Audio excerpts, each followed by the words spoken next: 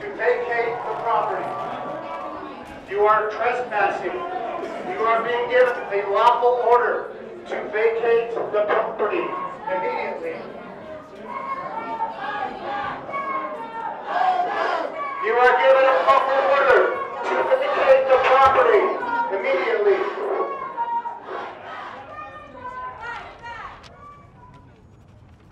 What BLM wants to do is auction off thousands more of our public lands, acres, to the oil and gas industry so they can develop uh, oil and gas resources. And what we want to do is stop that from happening. My name is Tim Ream. I'm at Wild Earth Guardians and I'm the Climate Energy Campaign Director there. Among all the protesters here today, Wild Earth Guardians is a little bit unique, and that's because for years we've been going through the system. Every time they ask us for comments, we give comments. Every time they ask us whether or not we want to formally protest through the system an oil and gas lease sale, we protest it. It's never made any difference. They keep right on auctioning them off, they keep right on ignoring climate change. So we're not left with anything else. We're actually going to have to stand up and physically get in the way of the auction.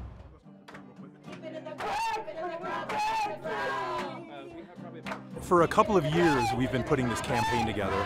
For uh, months, we've been planning for this action. For the last week, people have been gathering and training and making art and getting to know each other. And now we're all gathered here together with our signs and our banners, getting ready for the final moment where we march over there and try to shut this down.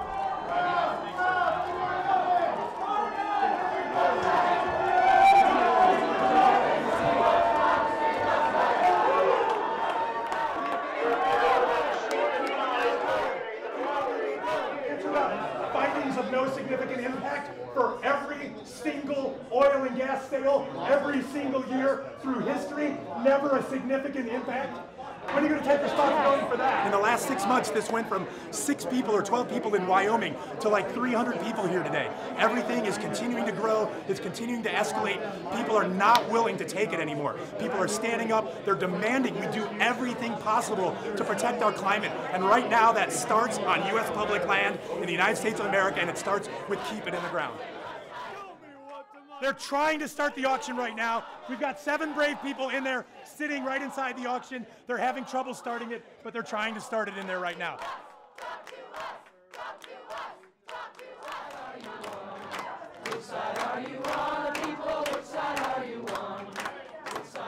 The auction just ended, and it turns out that they were able, through all of this ruckus and all of this noise and all this energy, to still hold the auction.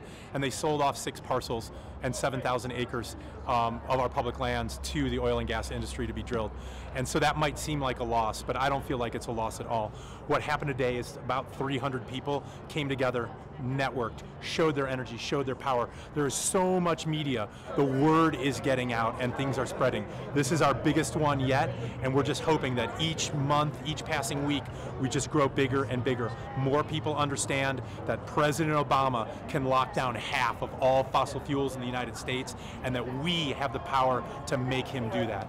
And so that's what this was about today, and in that sense, it's been a huge, wonderful day.